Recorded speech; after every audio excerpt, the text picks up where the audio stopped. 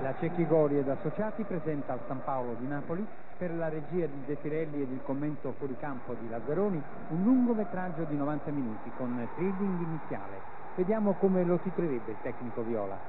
A fortuna, perché sicuramente a Fiorentina ha giocato un calcio per vincere questa gara e andammo a Firenze senza punti nessuno. In effetti è andata più vicino al gol del pareggio la Fiorentina anziché al raddoppio il Napoli, una squadra in cui si avverte pesantemente l'assenza di Careca, l'unico capace di impensierire le difese avversarie con Maradona e di fare anche gol. La fortuna anche perché all'asso brasiliano si è sostituito oggi uno che parla napoletano e che al gol solitamente non è deputato. Ecco, non a caso Ferraro e Landucci ce li abbiamo tutti e due vicini, allora il portiere che subisce il gol dopo 50 secondi è l'uomo che doveva eh, marcare stretto un pericoloso attaccante che va a segno e regala una vittoria, un gol pesante Ferrari.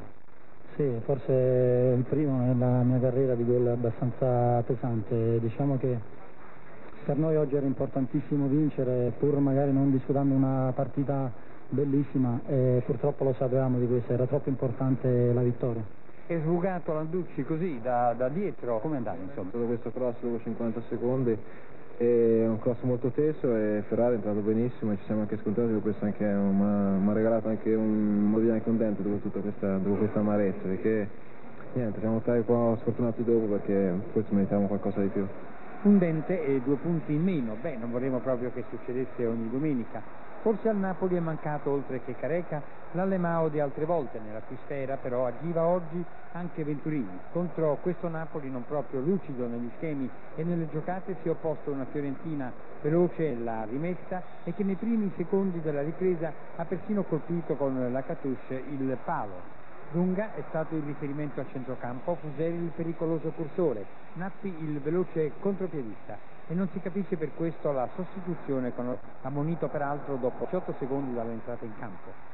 Diciamo che Lazzaroni non ha tutti i torti a parlare di fortuna, Bigon lo sa, ma pensa alla classifica che finalmente è diversa da ieri. Una settimana terribile, Milan, Spartak e Fiorentina, 4 punti, tiriamo il bilancio.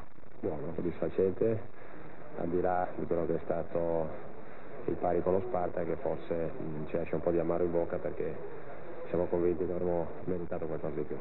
La partita di oggi, questa Fiorentina che si è mossa molto, ma si è mosso anche tanto il Napoli o meno di quanto lei volesse? No, assolutamente, il Napoli ha cercato di dirne forza, mi pare l'abbia fatto con sufficiente attenzione, una Fiorentina molto accorta e direi anche molto pungente in contropiede con un Lacatus in ottime condizioni. E sono soddisfatto generalmente del comportamento della squadra proprio in considerazione delle energie spese durante la settimana.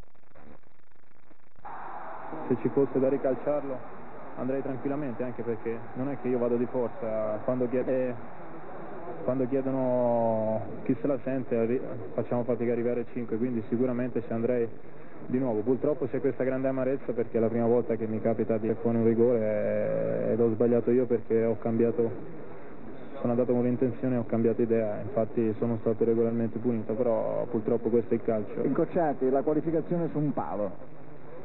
Sì, purtroppo la parte dei rigori che sono sempre intorno all'otto